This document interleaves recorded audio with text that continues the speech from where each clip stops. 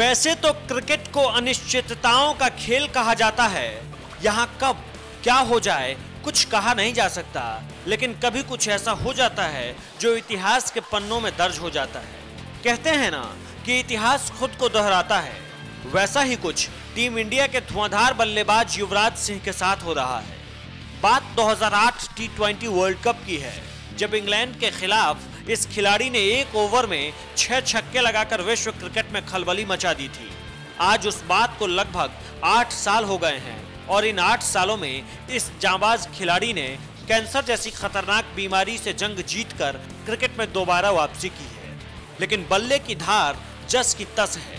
युवराज ने एक बार फिर अपनी इसी क्षमता का परिचय Syed Mushtaq Ali T twenty trophy के दौरान मध्य क्षेत्र के खिलाफ खेले गए एक मैच में दिया। मध्य क्षेत्र ने पहले बल्लेबाजी करते हुए निर्धारित 20 ओवर में सात विकेट के नुकसान पर एक सौ सड़सठ रन का चुनौतीपूर्ण स्कोर खड़ा किया। लक्ष्य का पीछा करते हुए उत्तर क्षेत्र की टीम 20 ओवरों में छह विकेट के नुकसान पर एक रन ही बना सकी और मैच चार रनों से हार गई। इस मैच में यूपी ने मात्र 20 गेंदों में चार छक्के उड़ाते हुए 33 रन ठोके। इनमें से तीन छक्के उन्होंने लगातार गेंदों पर जड़े।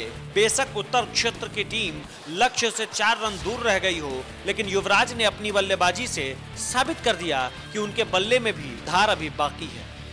एनएमएफ न्यूज़ की रिपोर्ट।